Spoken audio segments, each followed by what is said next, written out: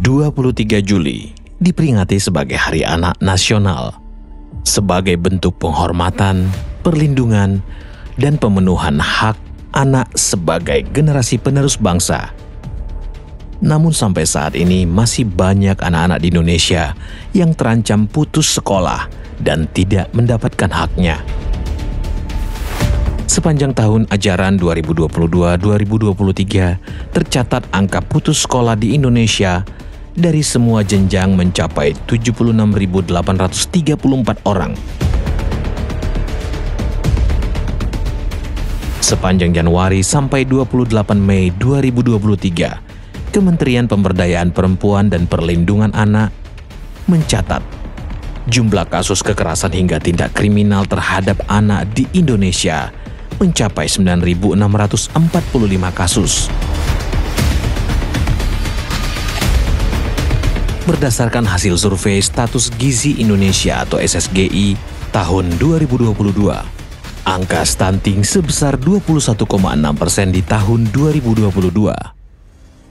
Untuk itulah, melalui program Feeding and Learning Center, sekolah berasrama, dan mobile clinic, Tangan Pengharapan berkontribusi untuk mengurangi angka putus sekolah, kasus kekerasan anak, dan gizi buruk yang sering terjadi pada anak. Lebih dari 87 titik kami menjangkau generasi penerus bangsa yang sulit dijangkau dan terus menjangkau daerah-daerah baru di pelosok negeri. Hidup jauh dari perkotaan dan tinggal di pegunungan dengan tempat tinggal sederhana, tanpa listrik dan susah sinyal, merupakan hal yang gampang-gampang sulit dijalani. Namun kini, saya menjadi terbiasa dengan setiap keadaan ini. Itulah suka duka ketika menjadi guru di pedalaman.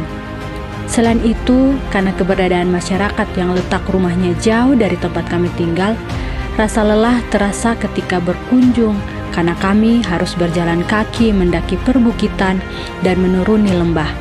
Tetapi dengan begitu, kami pun ikut merasakan bagaimana rasanya menjadi anak-anak yang harus melalui jalan itu setiap hari untuk bersekolah. Jalan yang sulit, rintangan dan tantangan, serta melampaui batas zona nyaman dilakukan oleh para guru-guru demi generasi penerus bangsa, yaitu anak-anak. Setiap anak memiliki kesempatan yang sama dari mana pun mereka berasal. Mereka adalah generasi penerus bangsa. Mereka adalah harapan kita untuk Indonesia yang lebih baik di masa yang akan datang. Mari bersama kami berkontribusi bagi negeri dengan menjadi orang tua asuh.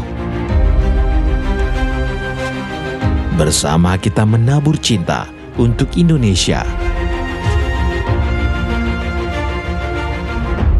Helping people live a better life.